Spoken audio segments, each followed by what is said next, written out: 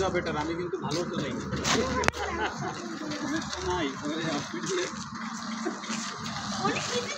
জাতীয় সংসদের হুইপ মাশরাফি বনে যান শখের অটো চালক।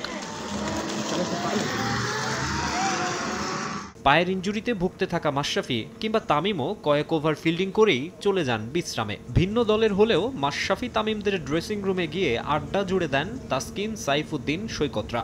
ডিপিএলে একটু ফান মুডেই থাকেন ক্রিকেটাররা। বিকেএসপিতে টস জিতে ম্যাচের লেজেন্ডস অব রূপগঞ্জকে ব্যাটিংয়ে পাঠিয়ে সীমানায় ফিল্ডিংয়ে দাঁড়ান তামিম। কোচ সালাউদ্দিনের সঙ্গে কত শত গল্প প্রাইম ব্যাংক অধিনায়কের। ফিল্ডিং সেট নিয়ে কোচকে বলেন, আপনি পুরানো আমলের, আর আমি এই যুগের ক্রিকেটার। আবার বলেন, এত বছরেও ভালো অফ স্পিনার তৈরি করতে পারলেন না, স্যার। এমন খুনসুটির মাঝে ম্যাচ জয়ের আনন্দও সঙ্গী হয়েছে তামিমের। আগে ব্যাট করে মাত্র একশো পঁয়ষট্টি রানে অল আউট হয় রূপগঞ্জ। ফিফটি করেছেন বিপ্লব। মাশরাফি করেন চব্বিশ বলে দুই। পাঁচ উইকেট নেন স্পিনার নাজমুল অপু। ছোট টার্গেটে ওপেনিংয়ে পারভেজ ইমনের সঙ্গে শেখ মেহেদিকে পাঠায় প্রাইম ব্যাংক। সাঁত্রিশ রানের উদ্বোধনী জুটি ভাঙলে ওয়ান ডাউনে নামেন তামিম, খেলেন পঁয়ত্রিশ রানের ইনিংস।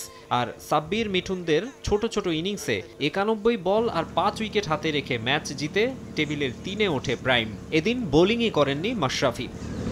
বিকেএসপির আরেক মাঠে আধিপত্য ছিল আবাহনীর। তাস্কিনের এগ্রেসিভ বোলিংয়ে শুরু থেকে সংগ্রাম করতে হয় গাজী গ্রুপ ক্রিকেটার্স ব্যাটারদের মাথায় বল লাগায় হাসপাতালে যেতে হয় আল আমিন জুনিয়রকে কনকাশন সাব হিসেবে নেমে ভালোই খেলেন হাবিবুর রহমান সোহান, করেন একচল্লিশ রান। তবে এদিন গাজী গ্রুপের দলীয় রান দুইশো পার করতে বড় ভূমিকা রাখেন মেহেদি মারুফ। জাতীয় দলের তারকাদের সামলে ষাট রানের দারুণ ইনিংস খেলেন গাজীর অধিনায়ক। তাসকিন, সাইফুদ্দিন, তানজিম সাকিব, তানভীর প্রত্যেকে নেন দুটি করে উইকেট।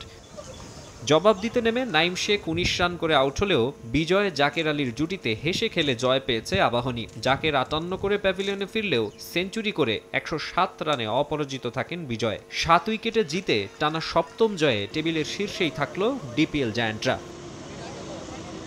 মাকসুম আলম খান, সময় সংবাদ, বিকেএসপি, সাভার।